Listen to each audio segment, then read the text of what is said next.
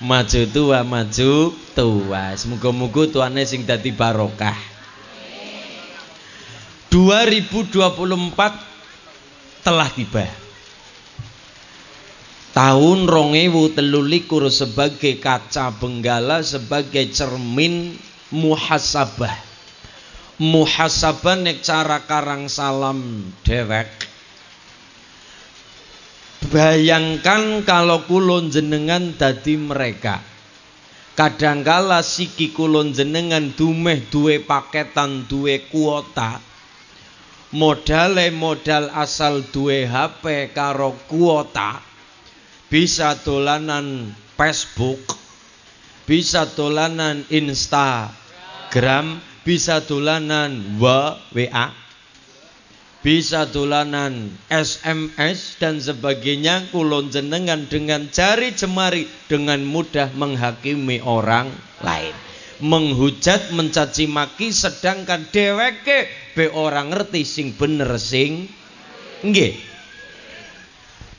Bahasa sing ringan perkara muhasabah adalah jajal bayangna kalau kita dadi kae. Contoh Mas Aris Pak Kiai Amanto lan kulon jenengan kabeh masyarakat Karang Salam misale. Dalane wis apik dalane wis alus apa kue diaspal apa kue dicor. Wong nek dalane apik motoran moh kon alon-alon dalane nek wis alus kepenak wong motoran moh kon alon-alon mumpung dalane alus Delalah dalane wis alus, motore karepe kenal pote brong karepe kenal pote bob bokan. Ngung nang kuping semremeng nang kuping gawe budeg. Ketika jenengan ngerti anak bocah motoran ngung bantare kaya nikah, jenengan keluar kata-kata mutiara. Apa kata-kata mutiara nih? Muga-muga tiba. Muga-muga rubuh. Kata-kata mutiara dongane el elek. Oke. Kata-kata mutiara yang kita ucap lewat lesan gulan jenengan gara-gara berwarna bocah motoran banter kaya kae wis banter kenal pote bobokan. Kemudian kulon jenengan dongane ala kulon jenengan dongane elek. Ternyata anak tangga neng lutik muga-muga rubuh tangga neng lutik matur nuwun Tanggane ngluthik, Bu, jenengan dong ngelek lah kayak ngerti apa ora kae sapa? Sapa sih kae ponakane jenengan? Eh, muga-muga selamat. Sing mau nendongane elek bareng ditidhoki kae putrane, kae ponakane atawa kae keluargane genti ndongane sing apik apik. Nah kale kaya ngapa tetep dongane sing apik-apik sing bagus, bagus ora wani nglaknati, ora wani caci maki, ora wani ngina-ngina, mergane dia adalah orang yang kita sayang. Atau dia keluarga dari kita yang kita sayang. Kalimat niki ana padanane, padanane teng kitab Al-Hikam. Niki sesuai dengan konteks Isra wal Mi'raj. Kanjeng Nabi Ibrahim alaihi salam niku dibekto kali Allah teng alam malakut. Ana TV gede, ana gambar gede, nang kono nang kono isine wong maksiat kabeh gambare. Ana wong mabok-mabokan, ana wong judi, ana wong maksiat, molimo nggo dina, dina mendem dan sebagainya kocap mendem mabok kemudian timbul kemaksiatan yang lain. Sing bojone sing nelantarna bojone sehingga karena mabok oreling sapa-sapa dilutik keitak jempole nantang gelut timbul kemaksiatan yang lain nang kono ana wong maksiat gambaran ini ku Nabi Ibrahim diangkat kali Allah tang alam malakut diberikan gambaran-gambaran ana wong maksiat moli monggondinan dina judi nggondinan dina dan sebagainya Nabi Ibrahim itu adalah nabi yang paling anti dengan orang-orang yang suka maksiat. Kenapa? Ibrahim merasa menungsa kurang apa dening esi wani-wanine gawe Allah karo Allah esi wani-wanine ngungkuraken karo Gusti Allah mulane Nabi Ibrahim adalah orang yang tadinya benci dengan kemaksiatan, benci dengan orang yang maksiat, pada akhirnya jadi orang yang sangat cinta dengan siapa saja. Orang pandang gue ahli maksiat, orang pandang gue siapa saja. Kenapa? Ngeten ceritane. Nabi Ibrahim diberikan gambar TV gede cara kene. Nang kono wong maksiat, ini itu ini itu. Allah ngendika, Ibrahim, nggih ya Allah, cara kowe kepriwe. Lah pripun ya Allah? Kaya wong maksiat kene cekelane vodka cekelane brandy. Ya Mas ya? Cekelane botol kawa-kawa ya? Iya. Cekelane minuman keras dan minuman atos inumane set lah ngonek kowe dinum setan nginum apa le Pokoknya kemaksiatan di mana-mana. Apa ngentikane Nabi Ibrahim? Ya Allah, meripat kula mboten kiat nyawang sing kaya kaya kaya. Allah, sudah ya Allah, bunuh saja mereka. Tanpa Allah pikir dua kali apa penyuwun Nabi Ibrahim dituruti semua orang yang maksud pada saat itu dibunuh semua oleh Allah di nopo hancurkan semua oleh Gusti Allah. Tanpa pikir dua kali tanpa pikir panjang Nabi Ibrahim melihat orang yang maksiat meripate mboten kuat nyuwun karo Allah. Ya Allah binasakan saja. Allah langsung binasakan mereka sesuai permintaan Nabi Ibrahim alaihis gina banggi tahun-tahunan berlalu Nabi Ibrahim kepengin putra urung keturutan barang diparingi putra karo Gusti Allah ngenteni kaya ngapa suwene Allah perintah lantaran ngimpi Ibrahim supaya nyembelih anaknya. Ibrahim sembelihlah anakmu. Apakah langsung dituruti oleh Nabi Ibrahim? Boten ada sedikit perlawanan. Kulo nyembelih anak kulo ya Allah iya. Nopo saestu? Iya Huwa samratu fuadi tapi kan dia adalah buah hati saya. Dia adalah jantung saya, dia adalah belahan jiwa saya. Maka masa saya membunuh anak saya sendiri? Ibrahim, ya Allah.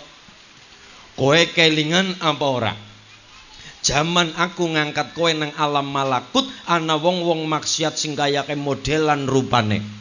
Kowe geting banget karo wong maksiat kae mau. Kowe njaluk apa karo aku? Bunuh saja mereka ya Allah. Apakah aku mikir dua kali? Apakah aku kemudian pikir panjang? Ora, aku langsung nuruti kekarapanmu, membunuh mereka, membinasakan mereka. Sekarang nyong jaluk kamu nyembelih anakmu, kenapa kamu pikir dua kali? Tapi kan dia anak saya ya Allah. Loh, orang yang kamu minta untuk saya bunuh, dia adalah cidakan saya nyong sing gawe mripate, nyong sing gawe untune, nyong sing gawe jantunge, nyong sing gawe urat nadi, nyong sing gawe getihe, nyong sing gawe balunge. Tapi apakah aku pikir dua kali? Nggih ya Allah. Sejak saat itu Nabi Ibrahim sing maune anti dengan orang maksiat sangat benci. Kita boleh benci dengan kemaksiatan tapi jangan benci dengan orang yang maksiat. Sing kita benci kemaksiatan itu dudu wong sing nglakoni maksiat. Kenapa? Al ulama yang duruna ilal ummah bi ainir rahmah. Seorang ulama adalah orang yang berilmu.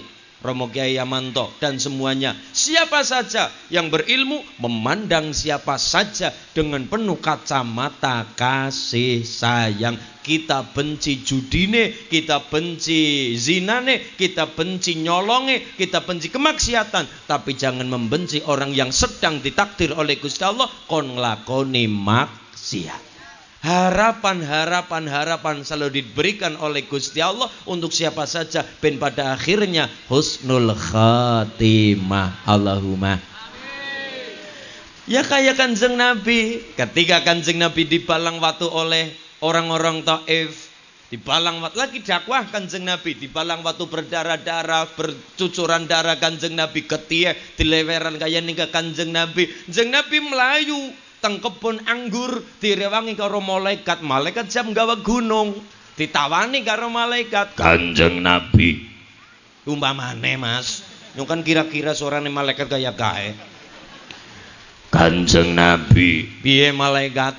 Kula mboten terima. Trimane apa ora trimane apa? Jenengan kekasih Allah. Jenengan Rasulullah Allah masa wong kaya kae ngantemi jenengan balang watu berdarah-darah jenengan kula mboten terima ana kalimat terima sing ngawaki ora terima sing momongi Nabi ini terima-terima baik tapi malaikat sing ora terima sudah malaikat aja kayak kue mboten kanjeng Nabi mereka ketegelan, mereka kurang ajar ono nabi ini Allah di balang waktu berdarah-darah. Ojo malaikat. Loh ojo pripun jeng Nabi, kalau mereka dibalang gunung oleh kamu, maka wong kae sekota mati kabeh, nek sekota mati kabeh, aku tidak ada harapan. Anak putune kae anak sing mlebu Islam. Dipateni saking gampangnya, dibunuh saking gampangnya, dibeleki gunung selamat, dibeleki gunung apa maning mas? Gunung Semeru, dibeleki gunung Tugel dibeleki kabeh Merapi kelut dipat blek malaikat nggawa gunung Uhud.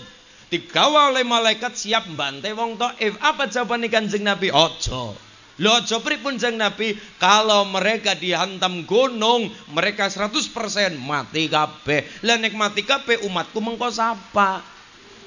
Sing dadi sasaran dakwahku sapa?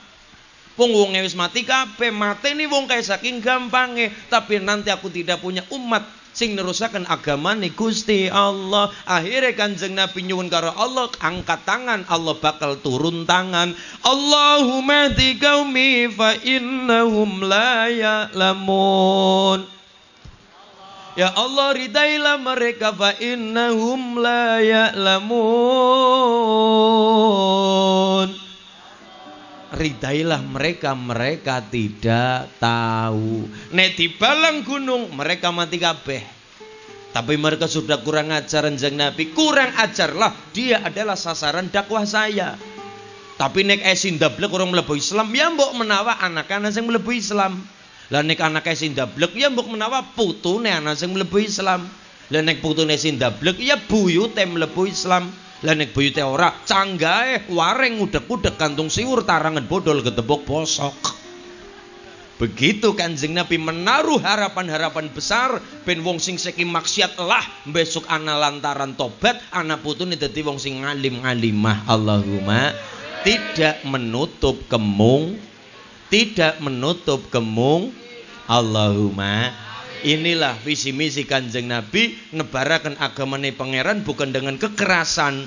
Sekalipun perang tetap anak aturannya kayak misalnya cara Jawane ya perang Barata Yuda ora asal perang, ora asal membunuh, ora ampiak awur-awuran. Ana batas-batas wong perang. Nek membunuh asal mati gampang, tapi anak aturane ke ora kena jam semene aja nggo perang. Nek ana wis nyerah aja ini. Nek ana ya kaya Kanjeng Nabi, walaupun mung pura-pura syahadat orang Islam ketika perang ora kena mati ini wong sing wis nglakoni syahadat sekalipun munggo pura-pura Kan begitu, tadi aturannya ada orang sembarang mata ini ketika per perang. Ya kayak perang Barata Yuda.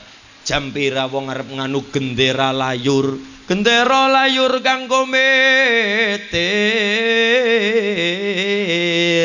Sindrang kang deres sing maroto.